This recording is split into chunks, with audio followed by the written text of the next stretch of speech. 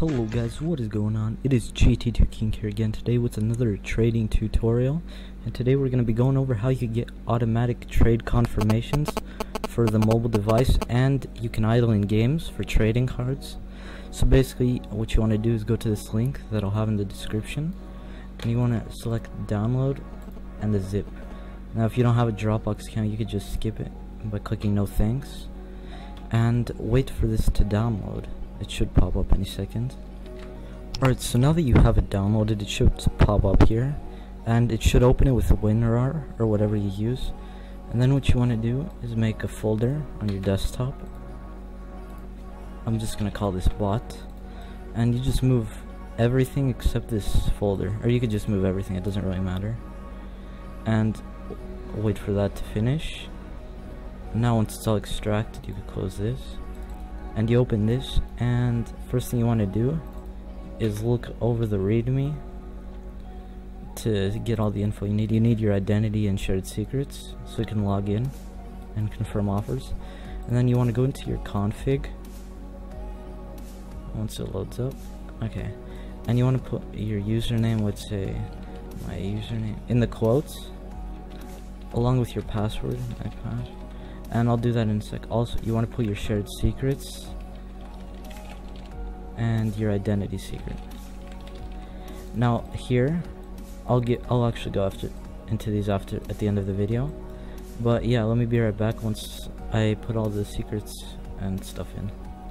Alright, so in the end it should look something like this. Like my username is this, my password isn't this. I just have it set something different. And your shared and identity secrets. So let me put the password well, now, no, let me put my password in. Alright, once you save the file, you just want to run the start bot, bat, And it should log in. All the node modules are already installed, so yeah. See, it just got online. And it's in Team Fortress 2. Now let's see if it's working. So this is the testing account. Let me go to my main account and send it in a trade offer. Offer a trade. Now I don't have Steam Desktop Authenticator or my phone running. Keep that in mind. Let's just do for a scrap for a scrap. Seems like a good deal. And it says in order to you must verify it in the Steam mobile app. Now, let's open our trade offers now. Sent offers it's it's awaiting mobile confirmation so I have it set to poll for the confirmations every 15 seconds so it should be sent. Oh and there we go sent and let me see. 15 trade offers. There we go we got we got the offer so it basically does it for market too so that's all nice Okay, so now for the pull data and the game ID, what you want to do is edit with Notepad. One sec, let me remove my password.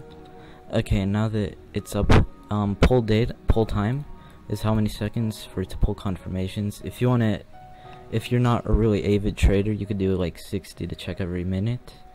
But 15 is a nice um, time. Idle game is the idea of the game you want to idle. So, whatever game you have in your library, it's like idle it so let's say I don't have Call of Duty in the bot, so I do have War Thunder though, so let's find the War Thunder game ID. Once it loads, there we go. War Thunder. Okay, doesn't want to open it. Okay, and the app ID is this app slash so 23690, and you just paste that in, and let me put the code in. Okay, now when you've set the game, um, you just just run the bot again and wait for it to load up. Okay. And there we go. It's in War Thunder. So now another thing you could do if you don't want the game idling, you could just go into your config and you could just remove this whole line and it won't do anything. So for example, if I run this now, it would look something like this it would just say I'd be online, basically. Which is also helpful because you can attract more traders if you're online. But yeah, see, it's just online, so that's a nice feature. Um, but that'll be it for this video. If you guys enjoyed, let me know. And if you have any problems, let me know as well. Thank you guys for watching, and I'll see you in the next video.